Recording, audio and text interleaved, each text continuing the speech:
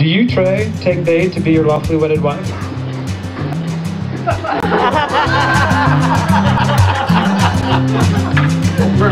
I do. Shut your eyes.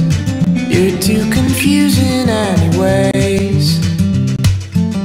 Uh, Trey and I we have an opportunity once in a while to go out to dinner when it comes to Minneapolis on business. And I remember talking to Trey, and he found himself single at that time. And I said, "Will you ever get married?" He said, "I don't think so, because the woman would have to be so amazing and incredible, and I would have to be so in love to take that once again. That I just, I don't think that'll ever happen. So I am really excited to be here tonight because it has happened. Well, I should raise it and throw it hard upon the rocks. There's three things I'd die for one is blue, one is salt, one is you. Well, there's three things I'd die for one is blue, one is salt, one is you. Susie? Well,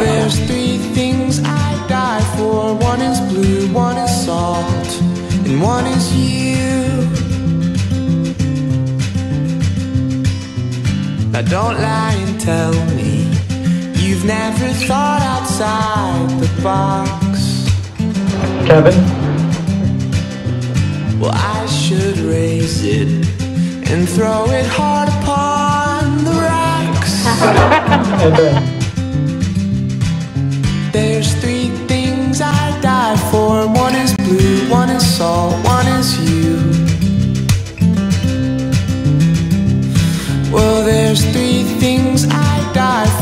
One is blue, one is salt, and one is you.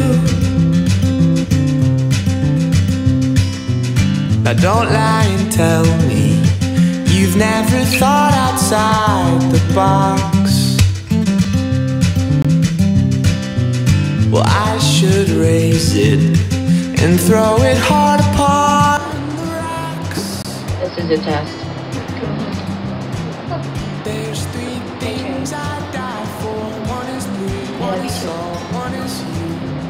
Trey, I promise to give you the best of myself there's I die and ask of you no more than you can give. One is you. Got a lot of reasons. Oh, yeah. I promise to respect you as your own person and to realize that your interests, desires, and needs are no less important than my own.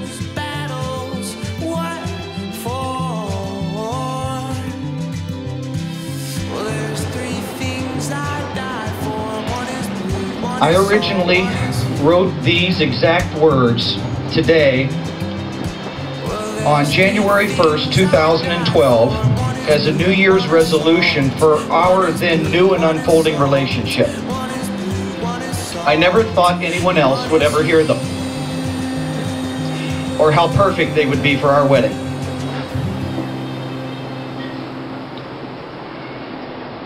I resolve to grow in my love for you this year by not taking your love, attention, and presence in my life for granted.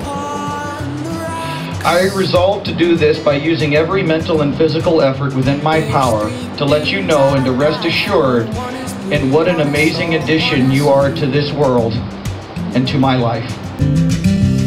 Well, there's three things I die for. One is blue, one is salt, and one is you.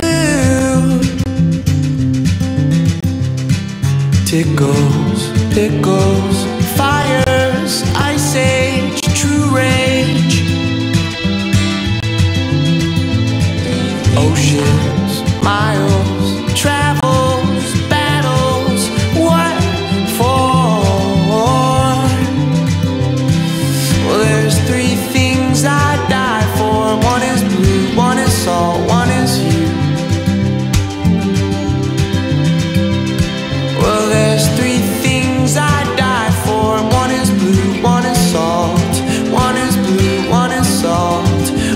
pronounce you husband and wife, you may kiss the bride.